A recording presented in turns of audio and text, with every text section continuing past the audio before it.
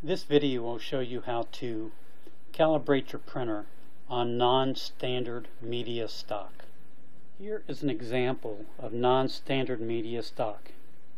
You'll see that it's mostly black with white gaps. But if you take a closer look at this media stock, you'll see that it is die cut and that each label does peel off from its backing and that the white spaces between the black should act as a gap. So if you're having problems calibrating on this type of stock, you need to make sure of a few things. First of all, make sure that your sensors are working properly. To do this, press the Setup Exit button and continue on until you come to Sensor Profile.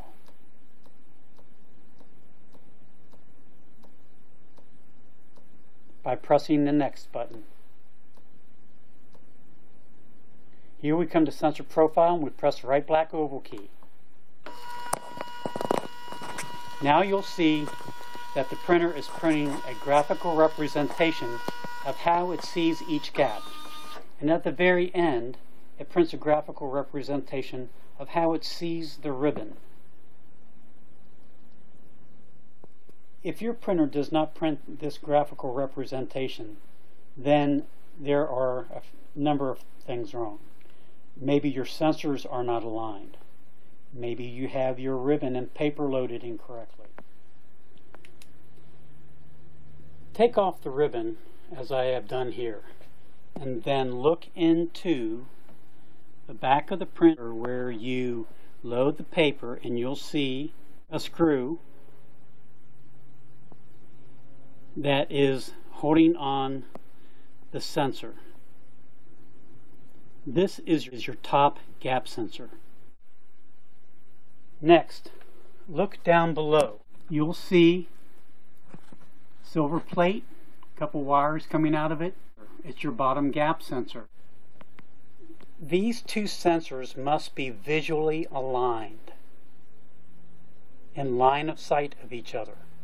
Here you'll see that the paper is tracking between the top sensor and the bottom sensor underneath the dancer assembly and the idle roller. Now that we've assured that the paper and ribbon are loaded correctly, let's go to the front of the printer. Press the Setup Exit key.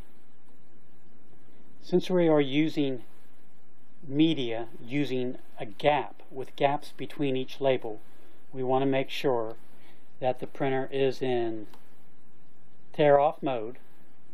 This is just good for good practice. It is non-continuous. We are using the sensor type web and we are using thermal transfer print method since we're using a ribbon. Let's go ahead and move forward now to the sensor profile. We're going to print the sensor profile once again because now that we've assured that the media sensors are aligned properly, we want to make sure that they can see each other.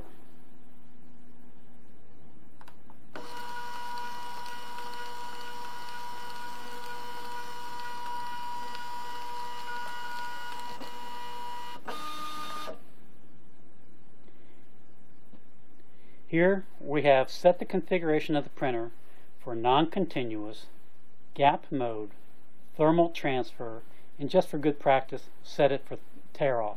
That way, when the test is done, you can see that the tear off of the media has come to the edge of the tear off bar. To calibrate a printer with non-standard stock, the first thing you want to do is press the Setup Exit key and press the next button until you come to Media and Ribbon Calibrate.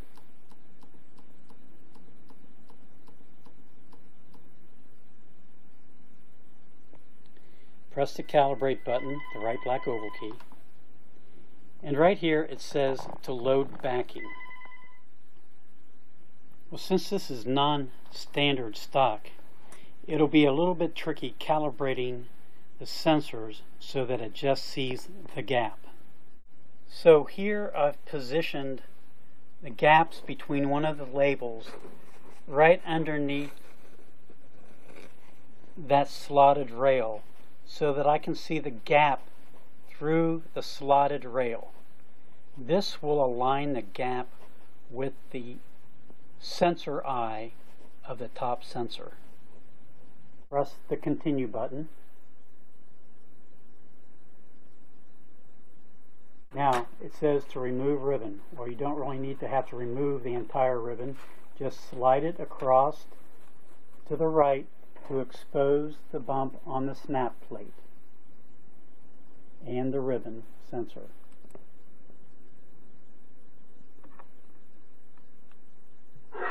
Close the print head.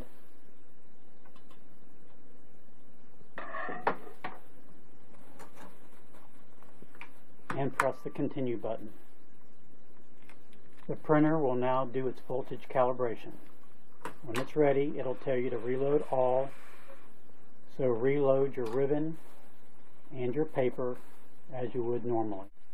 Once your paper and ribbon are loaded and the print head is closed, go ahead and press the continue button and the printer should do its calibration.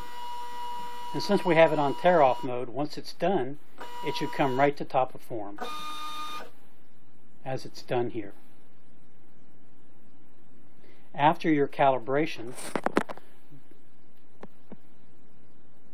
go back one step to previous and see the sensor profile. Go ahead and print that profile. Here you see, once again, I've got a good graphical representation of the printer's profile.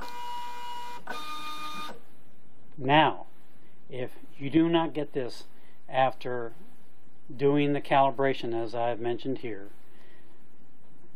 and properly positioning the gaps of the label underneath that sensor eye, then you must have something wrong with your sensor or your main logic board.